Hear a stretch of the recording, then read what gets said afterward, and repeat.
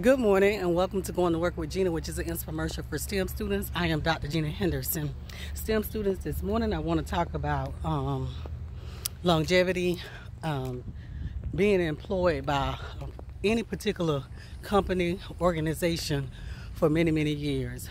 Well, tomorrow is June 1st, and tomorrow will mark the 27th year that I've actually been employed by NASA Kennedy Space Center.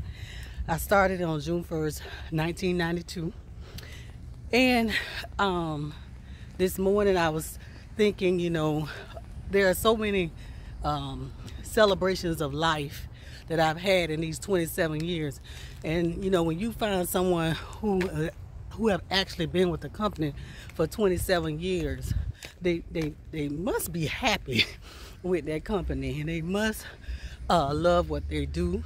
And I can say um, over the course of time, there have been many jobs. I've been with one company, but I've had several positions. And I'm embarking on a on uh, pursuing a new position also. So I just wanted to, you know, kind of like let you know that when you choose the right company, STEM student, you know, uh, there should be um, longevity. Um, there should be um, um, maturity in the company, um, growth potential. That those are all of the things that you want to look for. And when you experience a company who can give you all that, make sure that you you go with the flow. There's some give and take.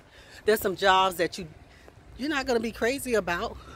But if you're an engineer, that means you know how to do the job. So I have done many positions that I wasn't, you know, wasn't the best position and it was somebody else's grunt work. Um, but in everything, there was experience. And so as you know, experience is the best teacher. Experience um, helps build a resume.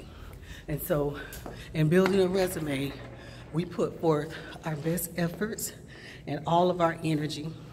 So this, oh yeah, tomorrow is um, June 1st, so that means that that's the bowl-a-thon tomorrow. So um, going to work with Gena be at the Sanford um, Airport Lanes from 4 to 7.